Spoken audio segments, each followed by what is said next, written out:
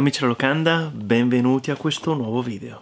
Come tanti di voi sanno, io una cosa che io apprezzo molto delle, de, delle, novità indie che escono nel gioco da tavolo, nel gioco di ruolo, nel nostro hobby, è cercare chicche. E un modo che io uso per esplorare e scoprire novità è la pagina Kickstarter, cioè una delle tante possibilità che ci sono su internet di portale di crowdfunding, cioè progetti finanziati dalla community, ok, per portare alla luce progetti ludici e non solo, di qualunque tipo. Io uso Kickstarter per esplorare e scoprire no novità e questo è il primo video nuovo anno, nuovo format, di un nuovo format che farò con una regolarità non proprio precisa, secondo dei progetti che incontrerò e che mi interesseranno, e vi mostrerò in anteprima quello che mi incuriosisce. Non significa che saranno progetti che io finanzierò o che, o che, quindi voi potete fare quello che volete, io non farò questo video per farvi finanziare progetti, vi faccio vedere quello che mi incuriosisce e cerco di farvi vedere lasciandovi abbastanza tempo, quindi progetti non finiti, per, se vi interessa, esplorare questi video e magari dare un'occhiata a queste cose che mi hanno incuriosito. Questo è il nuovo format della locanda Shakespeare per moschettieri del Giova e si chiamerà il Giova Starter. Quindi, benvenuti, siamo qui e siamo qui per esplorare assieme le, alcuni progetti che ho notato su Kickstarter. Sono progetti in corso e vi faccio vedere tre cose diverse oggi che mi hanno incuriosito.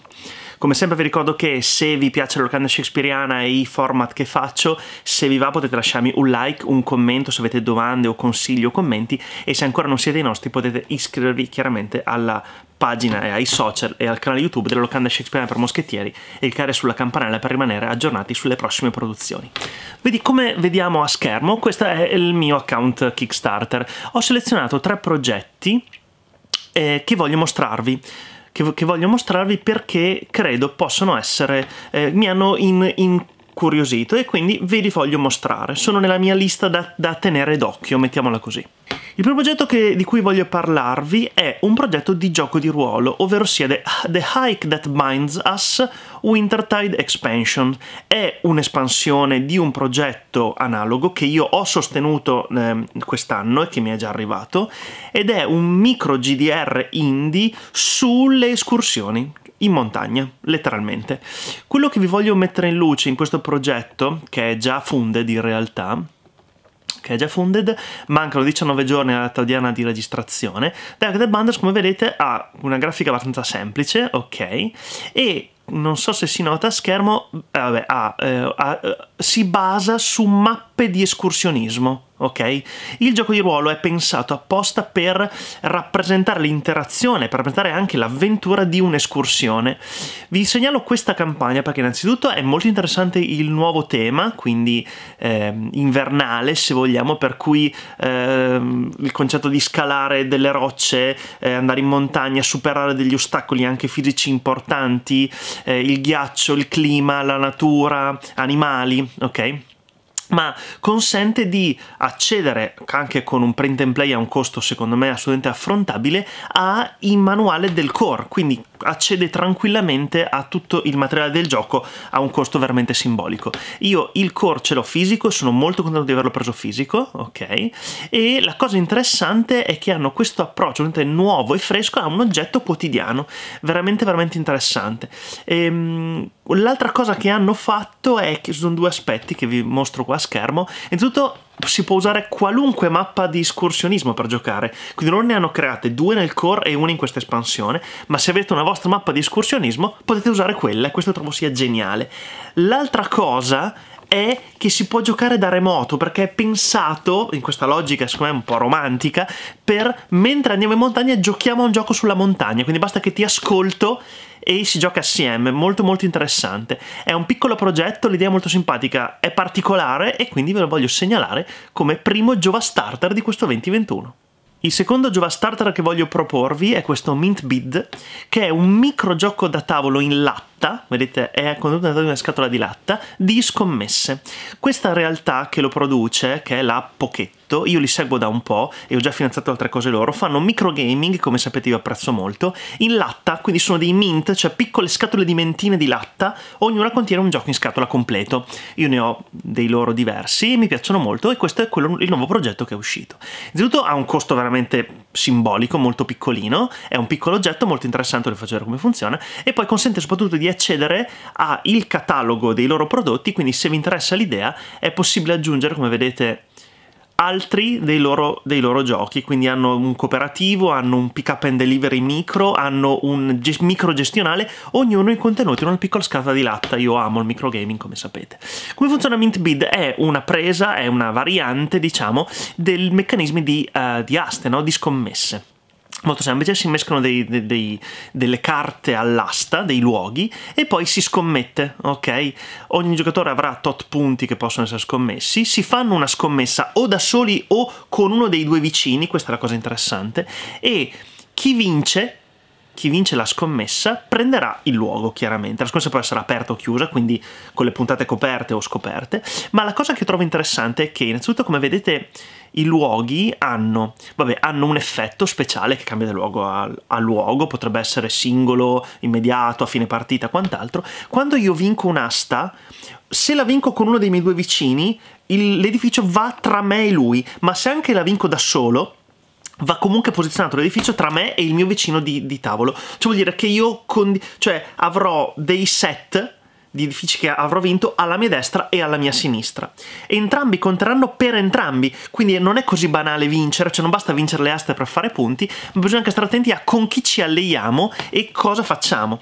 Ogni edificio ha un effetto, inoltre il colore dei puntini colorati che vedete a schermo è una sorta di set collection perché quando piazzo un edificio, lo piazzo di fianco a uno che ho già costruito, se il colore matcha sono dei bonus in punti vittoria. Il gioco è velocissimo, ha dentro una variante, è da 3 a 6, ha dentro una variante per 2, ha dentro una variante in solitario, quindi una AI anche, e stanno sbloccando altre cose, quindi è veramente è piccolo, interessante e è un piccolo progettino che a me piace moltissimo e come microgaming ve lo consiglio come secondo Giova Starter di quest'anno.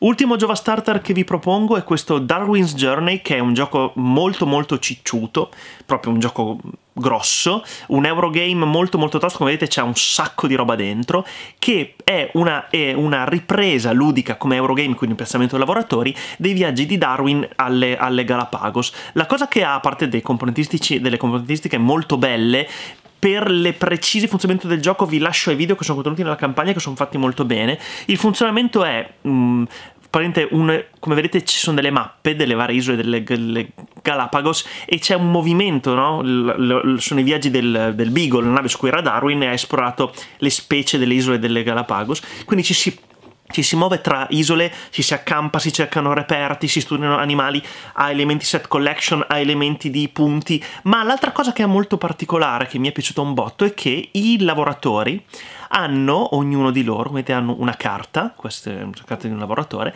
hanno dei, dei, simboli colorati, sono quello che ha studiato, quindi non posso mettermi il lavoratore dove voglio, ma i miei lavoratori devono studiare, quindi migliorarsi e cambiare per poter accedere a postazioni diverse, azioni differenti. Questa è una cosa molto bella, molto interessante perché aggiunge un livello ovviamente di complessità, ma vuol dire che io posso modificare quello che i miei lavoratori possono fare e quindi devono studiare per poter accedere a esplorazioni e questa è una, co una, cosa veramente interessante, veramente veramente figa e quindi lo rende molto tematico in realtà.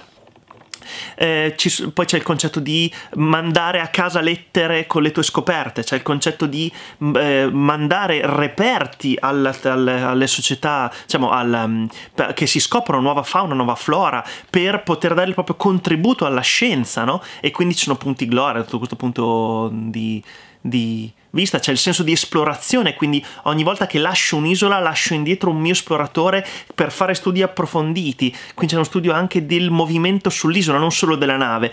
Molto interessante, è una cosa, è un gioco grosso, ok, oggettivamente qui non è un microgame per niente, molto tosto, molto particolare, a me piace veramente molto, vi segnalo peraltro che c'è il video de, ehm, di Darwin's Journey del Meeple con la, con la camicia, Flavio super in gamba, eh, vi, ve lo segnalo, guardatelo perché è fatto veramente molto bene ed è una bella campagna. Thunder, Thunder Griff Games è una realtà che a me piace molto, che ho già, ho già finanziato altre volte e peraltro vi segnalo che vi dà accesso a eh, nel Pledge Manager, se vi interessa, al loro catalogo Bazaar, che sono i loro prodotti, un po' più scontati probabilmente, in cui trovate cose veramente molto belle. I Wari, per esempio, capolavoro totale, Giova consiglia, ehm, Rolling Ranch, che è il gioco che è stato la Jova's Night, per esempio, molto bello, Tan Garden, Spirit of the Forest, Pod, Pod Devant, quindi dà la possibilità di accedere anche ai loro prodotti, che sono cose piccoline ma fatte veramente veramente bene. Specialmente Iwari è un capolavoro, è una riedizione di China ed è super super super bello. Questo è il terzo Jova Starter che porta la vostra attenzione, ovviamente è il più grosso dei tre che vi propongo oggi, e, e spero di avervi incuriosito e dateci un'occhiata perché è nella mia lista di cose da tenere d'occhio, veramente veramente interessante amici della Locanda. Amici della Locanda, mi ha fatto benvenuti a questo primo video del 2021, a questa nuova forma della locanda shakespeariana, me, la, me, lo avete chiesto, ho trovato modo di farlo, quindi qui nascerà la nuova forma del Jova Starter, che sarà, non sarà una periodicità fissa perché dipende che progetti trovo, se c'è qualcosa che mi interessa magari ogni tanto vi farò un video extra appunto a tema Kickstarter per mostrarvi quello che, non quello che io finanzio, ma quello che mi incuriosisce, ok? Poi se finanziare un progetto è a scelta libera, ov ovviamente.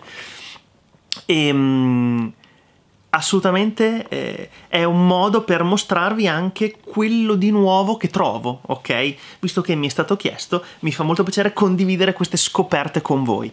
Eh, come sempre, se avete commenti lasciatemi, se avete domande, se avete consigli. Io vi ringrazio per la vostra attenzione e il vostro tempo, spero stiate bene. Sarà un altro 2021 sfidante per, per tutti noi, eh, ma continuiamo a leggere, giocare, stare in contatto perché è quello che ci tiene sani e salvi, amici della locanda.